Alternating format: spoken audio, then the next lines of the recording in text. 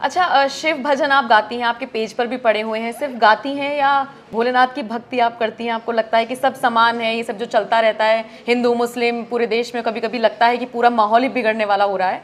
तो आपको लगता है कि सिर्फ़ गाती हूँ अपने।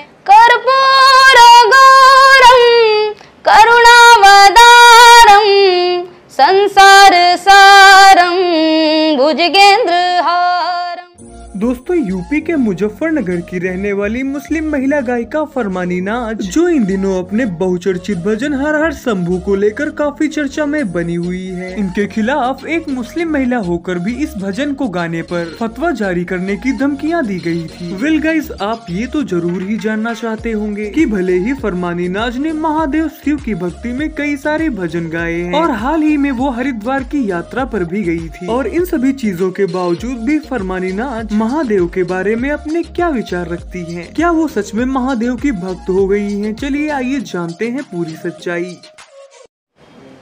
अच्छा शिव भजन आप गाती हैं, आपके पेज पर भी पड़े हुए हैं सिर्फ़ गाती हैं या भोलेनाथ की भक्ति आप करती हैं आपको लगता है कि सब समान है, ये सब जो चलता रहता है, हिंदू, मुस्लिम, पूरे देश में कभी कभी लगता है कि पूरा माहौल ही बिगड़ने वाला हो रहा है तो आपको लगता है कि सिर्फ़ गाती हूँ अपने कला के हैसियत से हर चीज़ गा लेती हूँ।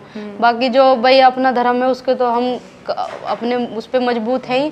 बाकी एक एक कला है हमें सब चीज़ गानी पड़ती है और कलाकारी का कोई धर्म नहीं होता और कलाकार हर चीज़ गा सकता है। तो इसीलिए हम हर चीज़ गाते हैं।